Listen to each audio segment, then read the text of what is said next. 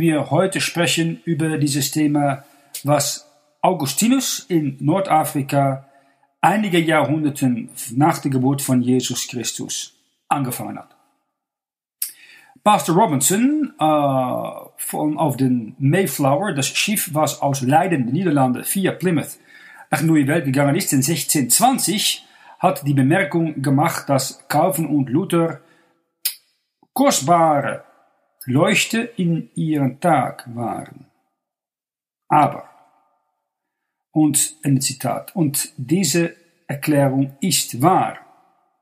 Biblische Offenbarung ist progressiv. Äh, sogenannten historische Positionen sind nicht nur teilweise inkorrekt, aber auch falsch im Laufe der Zeit bewiesen. Pastor Robinson, ein separatistischer Baptist, hat diese Wahrheit gut verstanden. Manche von diesen sogenannten historischen Positionen, die von Lutheranern und Katholiken und auch ab und zu von Presbyterianern oder äh, Baptisten genommen werden, können im Laufe der Zeit bewiesen werden, einfach Versammlungen zu sein von nicht-biblischen Meinungen, die zusammen bedacht sind durch eine Elitegruppe von Nikolaiten, die dachten, dass sie das Leib Christi regieren können und diktieren können, was ein wahrer Christ, wie sie selber wirklich glauben sollte. Ihre Idee war, dass das Leib von Jesus Christus unterordnet werden soll an einer Gruppe von philosophische Theologen, die niemals auf die Straße gepredigt haben und keine Seelengewinner waren. Und das ist ungefähr die Zusammenfassung von diese geschichtliche, historische Konzilien von Nicea, Trente, Ephesus, Karthago, Chalcedon, Mileto und so weiter. Moderne Beispiele davon sind das Weltkongress von Fundamentalismus und die Baptistengemeinschaft oder die Ökumenische oder die Weltrat von Kirche.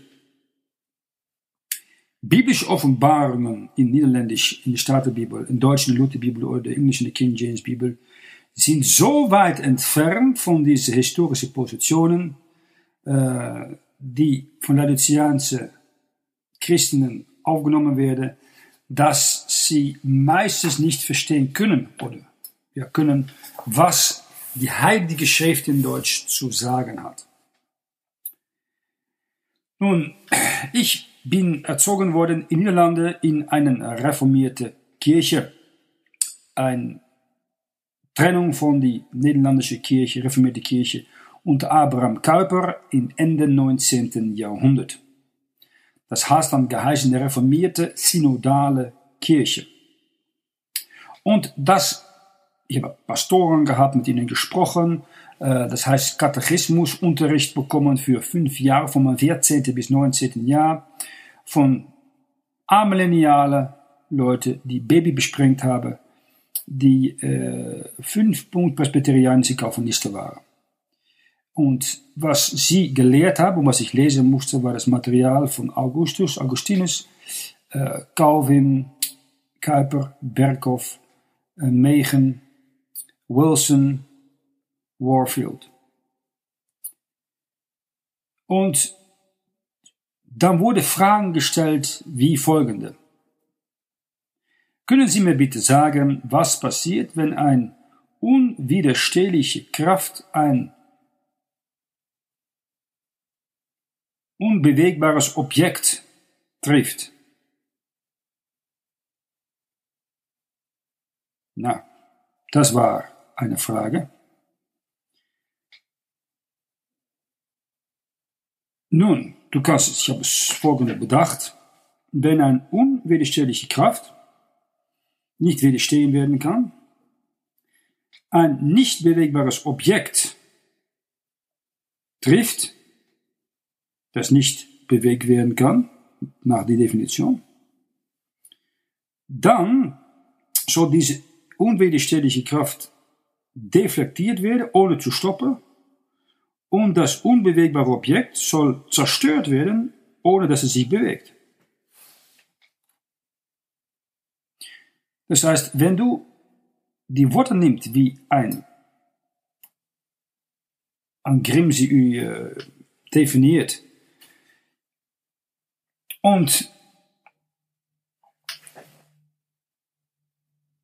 die digitale Grimm kann man sagen. Und die Lösung geben, die nach normaler Vernunft möglich ist,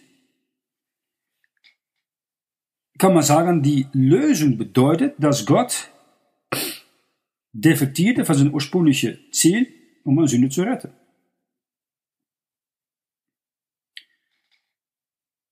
Aber Gott kann nicht deflektiert werden von etwas, was er vorgenommen hatte oder möchte, dass es passieren sollte.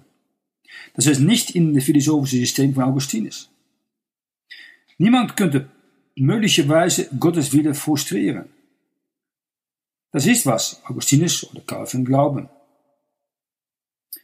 Das heißt, die meisten von diesen Leuten leben sündlose Leben. Weil es ist Gott, nicht sie selber, die die Wille in ihnen ausarbeitet. Weil er wollte ihre Rettung. Das nehmen sie dann aus Philippa 2, Vers 13. Philippa 2, Vers 13 sagt, denn Gott ist es, der in euch wirket beides, das Wollen und das Vollbringen nach seinem Wohlgefallen. Gott will das. Nachdem er ihre Rettung will. Römer 9, Vers 16. Das ist, wie die Leute denken. So liegt es nun nicht an jemandes Wollen oder Laufen, sondern an Gottes Erbarmen. Sie können Gott nicht frustrieren, nicht mal wenn sie sündigen. Sie sind 100% Unverantwortung, ja, verantwortungslos kann man sagen. Na, lesen wir das mal nach, was Jesus Christus betrifft, in Matthäus Kapitel 23, Vers 37. Na, ist ein Problem. Jesus sagt, Jerusalem, Jerusalem, die du tötest die Propheten und steinigest, die zu dir gesandt sind. Wie oft habe ich deine Kinder versammeln wollen? Wie eine Henne versammelt ihre Küchlein unter ihre Flügel und ihr habt nicht gewollt. Sie wollten nicht. Das heißt, Augustinus denkt dann, ja, Christus hat nicht wirklich gewollt, dass Jerusalem errettet werde. Aber wenn er willig gewollt hätte, dann sollten sie sein Ziel frustriert haben. Und sein Ziel war unwiderstehlich. Doch er sagt in Vers 37, ihr habt nicht gewollt. Das konnte nicht besiegen, ich wollte. Na, ich sage dann, Gottes Will wurde deflektiert und ihre Position wurde zerstört. 70 nach Christus kam General Titus und Gott sandte ihm, um diese Stadt Jerusalem zu zerstören. Das heißt, wenn du diese unwiderstehliche Gnade, die antichristliche Sicht aufnimmst, musst du zu Augustinus Schlussfolgerung kommen. Jede Person auf Erde, die gestorben ist, und in die Hölle gegangen ist, hat das getan, weil Gott hat das bewusst gewollt, es vorbestimmt und das ausgeführt. Sodass sein Sohn nicht ein Tropfen Blut vergossen hatte für jeder, der vorbestimmt war, in die Hölle zu gehen. Das heißt eine beschränkte Versöhnung. Das ist ein Wahnsinn, wenn man an Christ so denkt.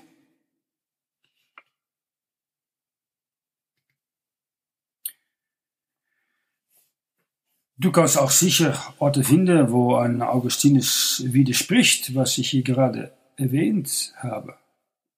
Das sieht man oft passieren. Äh, Spurgeon tut es auch einige Male in seiner äh, Schatzkammer von David, wo er die prämillenniale, amillenniale und postmillenniale Position aufnimmt, abhängig was am Publikum ist oder was er gerne reden möchte. Das sind Leute, die Männer gefallen möchten. Sie sagen, ah, dachte dazu ist der Lutherbibel, ab und zu ist der Elbefelde Bibel und so weiter. Das ist aber nicht eine Überzeugung, was Recht ist. Sie suchen Vorteil bei anderen, wenn man versucht, Menschen zu gefallen. Wir lesen in, zum Beispiel bezüglich dieses Thema in Judas 16 das folgende. Judas 16. Diese murmeln und klagen immer da, die nach ihren Lüsten wandern, und ihr Mund redet stolze Worte und achtet das Ansehen der Person um Nutzes willen. Sie achten das Ansehen der Person um Nutzes willen. Was ist ihr Vorteil darin? Na, nehmen wir zum Beispiel Spurgeon auf Psalm 87. Die sagt folgendes Zitat. Ich hoffe, dass es unseren Glücklichen los sein wird, um unter Gottes Auserwählte gezählt zu werden. Lassen wir dann beten für die Adoption und Wiedergeburt, welche uns am Platz versichern möchte unter die himmlische Geborene. Na, das zeigt hier nach die eigenen Worte von Charles Spurgeon, also nicht nach meinen Worten, aber nach seine eigenen Worte, dass er ein verlorener Sünder ist, die versuchte, auserwählt zu werden, nachdem er schon mehr als 30 Jahre gepredigt hat. Schaut zurück und lies es. Beschuldige nicht mich von Ihrer Lehre. Er wusste nicht mal, ob er selber adoptiert oder von neuem geboren wurde. Na, diesen Narr glaubst. Ich brauche nicht zu beten, um adoptiert zu werden oder von neuem geboren zu werden, nach Epheser 1, Vers 5 und Titus 3, Vers 5. Ebenso, dass ich nicht mehr äh, brauche zu beten, dass mein Name geschrieben wird im Buch des Lebens des Lammes, nach Philippa 4, Vers 13. Stell es mal als uns und unser an.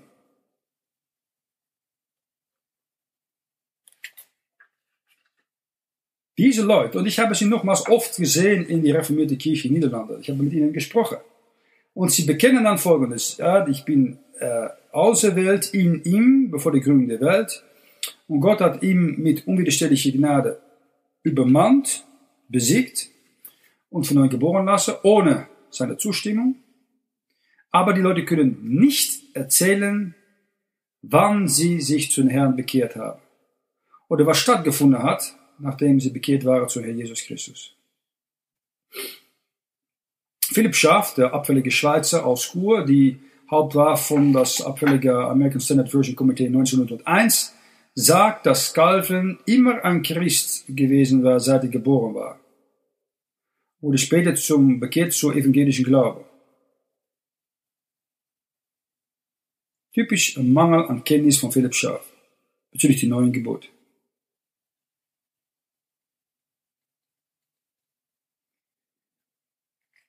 Ich bin von neuem geboren worden in 1987.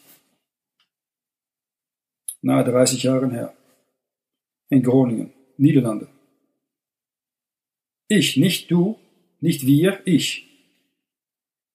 Und ich wurde angenommen, Vers 1, Vers 5, und vorbestimmt, um adoptiert zu werden, Vers 1, Vers 5. Moment, dass ich Jesus Christus aufgenommen habe, Johannes 1, Vers 12. Wir gehen so weiter. Äh, bezüglich unsere, unseres Thema mit Vorbestimmung. Und meine Erfahrung ist äh, in mehr als 20 Jahren in der reformierten Kirche gewesen, Niederländische reformierte Kirche muss ich dabei sagen, dass mein Pastor, die auch oft, äh, einige waren Professor oder Lehrer, ähm, hat uns gesagt, dass wir nicht einen Sünder die Frage stellen sollen, wann er errettet wurde. Weil, wenn er verloren war, konnte er sowieso nichts sagen. Und als er einer der Auserwählte war, dann wurde er schon errettet bevor 1. Mose 1. Bedingungslose Auserwählung. Zweiter Punkt von Tulip. Die gleiche Person hat uns gesagt, dass in der Ewigkeit, bevor 1. Mose 1, es die Tagen waren, worin jemandem geboren werden konnte. Von Gott. Weil Christus wurde von Gott geboren auf diesen Tag, Psalm 2, Vers 7. Und das war in die Ewigkeit bevor 1. Mose 1. Denkst du, dass Jesus, Jesus Christus wusste, was für ein Tag diesen Tag war? In der reformierten Kirche wurde mir gesagt, dass der Richterstuhl Jesu Christi, erwähnt in Römer 14, Vers 10, und das jüngste Gericht in Offenbarung 20 das gleiche Gericht waren. Und daneben auch, dass das Gericht über die Völker in Matthäus 25 auch das gleiche Gericht war. Und alle haben die neue Bibel empfohlen. NBG, also Niederländische äh, äh, Neue Bibelgesellschaft, Bibel 1951, alle gegründet auf den Vatikanus-Text.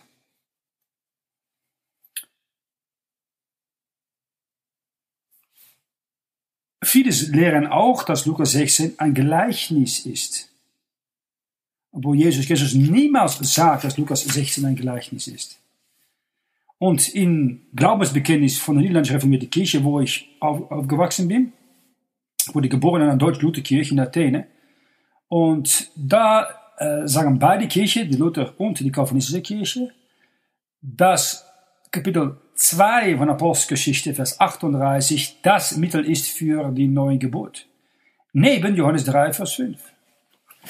Na, lass uns das mal anschauen, weil es kann gut sein, dass du nicht weißt, was Apostelgeschichte 2, Vers 38 sagt. Petrus sagt da, tu Buße und lasse sich an jegliche taufen auf den Namen Jesu Christi zur Vergebung der Sünden, so werdet ihr empfangen die Gabe des Heiligen Geistes. Das heißt, für Jude in diesem Übergangsbuch, die müssen sich Buße tun von was? Von Vers 36, das Kreuzigen von ihrem Messias, Jesus von Nazareth. Zweitens, sie müssen sich taufen. Das ist ein zweites Werk, was man tun muss. Und dann bekam man die Gabe des Heiligen Geistes. Ist nicht das Evangelium der Gnade Gottes, das Paulus predigt. Wenn er später zum Glauben kommt, eine Offenbarung von Jesus Christus persönlich bekommt bezüglich dieses Evangelium.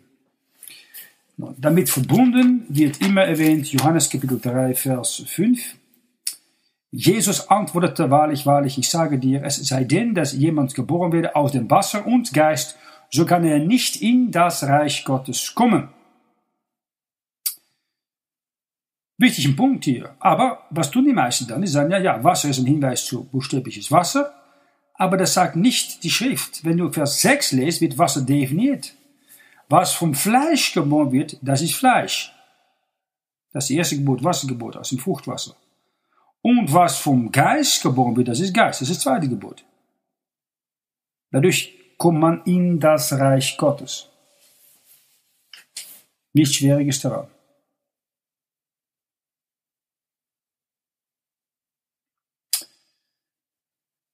Nun, Problem ist, wie kommt ein Holländer, erzogen, getauft, besprengt, Entschuldigung, in der deutschen Lutherkirche, erzogen in der niederländischen reformierten Kirche, mit einer neuen Bibelübersetzung, zum Punkt, dass er sagt, ich bin ein Straßenprediger, ein Sinngewinner geworden und ich glaube, die Staatenbibel von vorne bis hinten oder die deutsche Lutherbibel als menschliche Autorität gegen das, was die Kirche ihm gelehrt hat. Aber jemand war bei ihm diese Jahre, die ihm in die Wahrheit geführt hat, der Herr Jesus Christus. Gegen das, was die Religion ihm versucht hat beizubringen. Aber ich bin deswegen nur ein, ein Punkt Tulip-Gläubige, nämlich in die Beharrung oder die Bewahrung der Heiligen. Warum? Weil wenn man sich bekehrt zu dem lebendigen Gott durch Glauben an Jesus Christus, dann bist du vorbestimmt, um für ewig ähnlich zu werden an seinem Bild. Das ist, wenn du freiwillig Jesus Christus als deinen persönlichen Heiland aufgenommen hast. Johannes 1, Vers 12 und Vers 13. Wie viele ihn aber aufnahmen, Denen hat er Macht gegeben, Gottes Kinder zu werden, die an seinen Namen glauben. Das heißt, kein neues Gebot, eine unwiderstehliche Kraft, kommt auf ein toter Mensch, nach Epheser 2, Vers 1 bis Vers 5, waren Toten, Übertretungen und Sünden, bis dieser tote Mensch etwas tut. Du sagst, was muss dieser tote Mensch dann tun? Nun, schau mal, was Gott sagt in Johannes 1, Vers 12. Wie viele ihn aber aufnahmen, denen gab er Macht, Gottes Kinder zu werden, die an seinen Namen glauben. Wenn ein toter Mensch, toter Mensch, zur Verantwortung gerufen werden kann fürs Ablehnen von Jesus Christus, und die tausende von tun das jeden Tag, dann kann er verantwortlich gehalten werden, um auch Jesus Christus aufzunehmen. Gottes Wille heißt nicht, dass jeder automatisch ein Auserwählter regeneriert. Er kam zu den Seinen. Und die Seinen sind die Kinder vom Reich, Matthäus 8, Vers 12. Und die Seine, Hebräer 10, Vers 30, enden in die Hölle, Matthäus 8, Vers 29. Der reiche Mann in der Hölle sagt, Vater Abraham. Und Vater Abraham antwortet Sohn, Lukas 16, Vers 25. An Auserwählte, Johannes 8, Vers 39, Sohn von Abraham in der Hölle.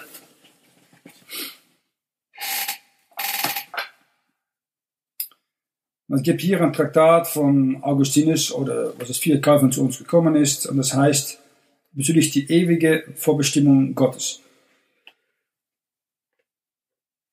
Und vermeidet die einzige zwei Kapitel in der Schrift, wo das Wort erwähnt wird in Epheser 1 und Römer 8. Vers 1, Vers 5 und Vers 11 und Römer 8, Vers 29. Da sehen wir, dass das Wort dort gebraucht wird. Aber Johannes ersetzt für diese Adoption und konformiert nach seinem Bild die täglichen Schritte und täglichen Gedanken von allen Menschen. Inklusive ihrer Ablehnung von Jesus Christus. Das stimmt nicht. Er sagt, Zitat, es gibt nicht mehr eine effektivere Methode, um Glauben aufzubauen, dann dass wir unsere offenen äh, Ohren aufgeben an die Auserwählung Gottes. Na, das ist nicht, was die Bibel sagt. Weißt du, was Gott sagt? Vielleicht willst du das wissen. Kommen wir nach Judas 20. Judas 20. Und da lesen wir, Ihr aber, meine Lieben, erbaut euch auf euren allerheiligsten Glauben durch den Heiligen Geist und betet.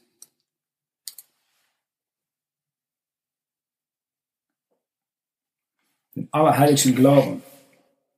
Das wird da erwähnt.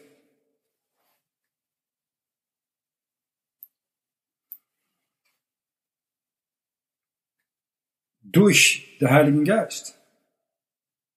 Das wird aufgebaut durch das Wort seiner Gnade Apostelgeschichte 20, Vers 32. Petrus hat gesagt, du bist aufgebaut durch teilzunehmen an das, äh, die reine, saubere Milch des Wortes. Die Auserwählung wurde nicht mal bezogen in Aufbauen des Glaubens im Neuen Testament.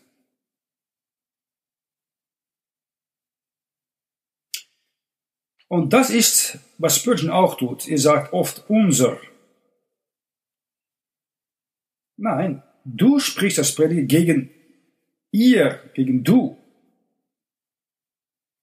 Wenn man eine Lügen versucht zu verkaufen, ist alle Nachahmers wir, unser, uns. Das ist die Standardlinie von dieser alexandrinischen Kult. Das hörst du auch in viele andere äh, Autoren.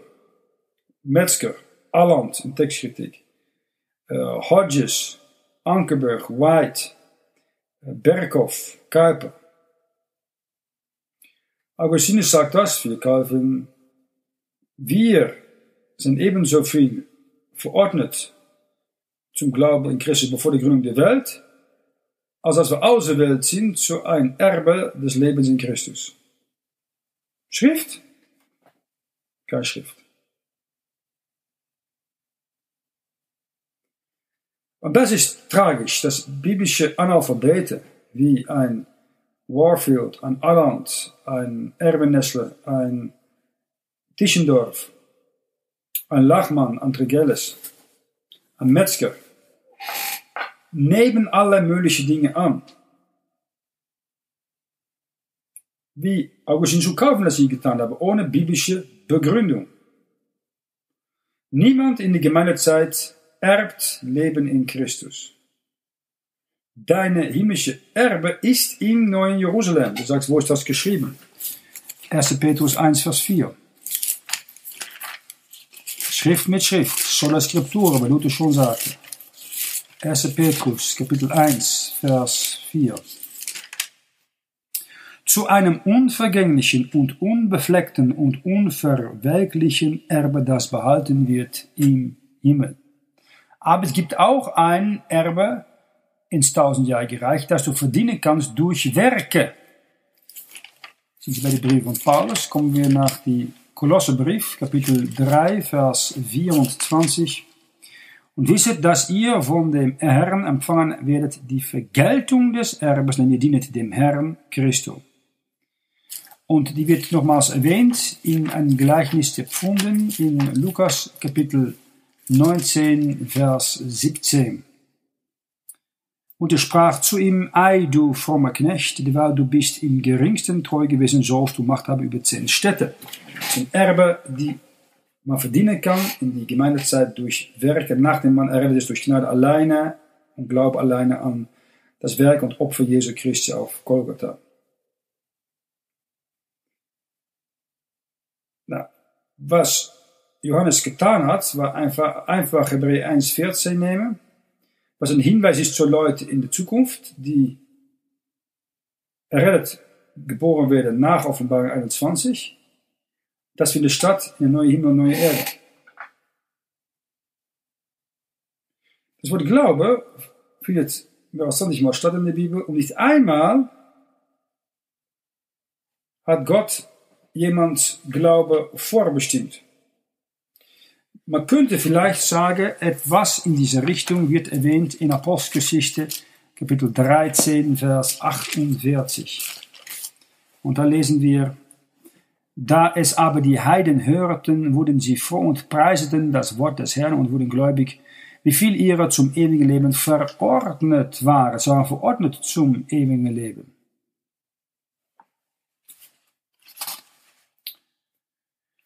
Jeder Heiden in äh, Apostelgeschichte 13, Vers 48 wurde verordnet zum ewigen Leben, weil die Verordnung wurde gegründet auf Römer 2, Vers 7.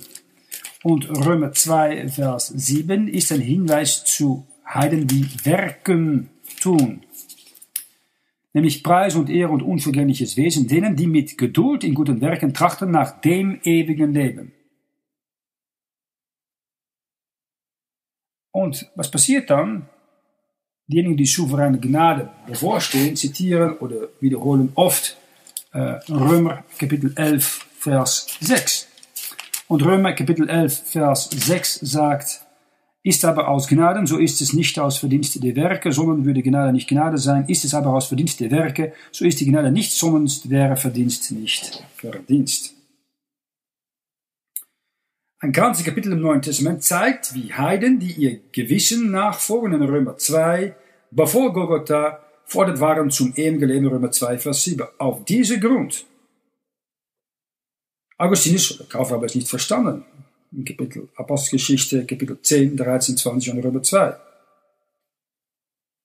Deswegen bin ich kein Nachfolger von das System von Augustinus. Ich glaube als Buch, ich bin ein Bibelgläubiger. Kein Philosoph, die versucht, was zu raten. In mir was drei Viertel davon, weil er war ein Amillennialist, diesen Johannes aus Genf. Er hat es folgende gesagt, wenn diese Aussagen Gott bekleiden mit die Kleidung eines Tyranns, hinzuweisen auf das, das verhärtende Herzen der Menschen, ebenso zu seinem ewigen Rat, sind wir sicher nicht die Bedenker von dieser Lehre. Nein, das stimmt. Augustinus war ein Bedenker dieser Lehre. Er hat gesagt, dass es Gottes direktive Wille ist, um verlorene Sünde zu schaffen und sie zu verdammen. Ja, Augustinus hat es bedacht. Aber es gibt Leute nach ihm, die das aufgenommen haben und ich bin Jahre in so einem System gewesen. Was absolut gefährlich ist, weil du hast nur niemals das Evangelium und du sicher nicht, äh, wie du durch das Evangelium Sicherheit des ewigen Lebens haben kannst. Wenn das System doch so aufnimmt, dann kannst du ruhig sagen, dass du Gott bekleidet mit Kleider eines Tyrannes. Und das ist eine harte Aussage, aber leider eine Aussage, die man so nehmen muss. Nochmals, ich bin mehr als 20 Jahre Mitglied gewesen in diesem System, habe da Jahre in verblieben mit vielen Pastoren geredet. Und das ist genau, was man in Praxis in diesem reformierten System glaubt. Is in Michigan, in Grand Rapids, in Amerika, in uh, ja, USA. Is in Niederlande, Schotland, in uh, Genf, in Südafrika und die niederländische reformierte Kirche da. Und es kann ein großes Gefahr sein. Nochmals, wenn du darin verstrickt kommen bist, komm raus und stelle den Glauben allein an das Blut von dem Herrn Jesus Christus.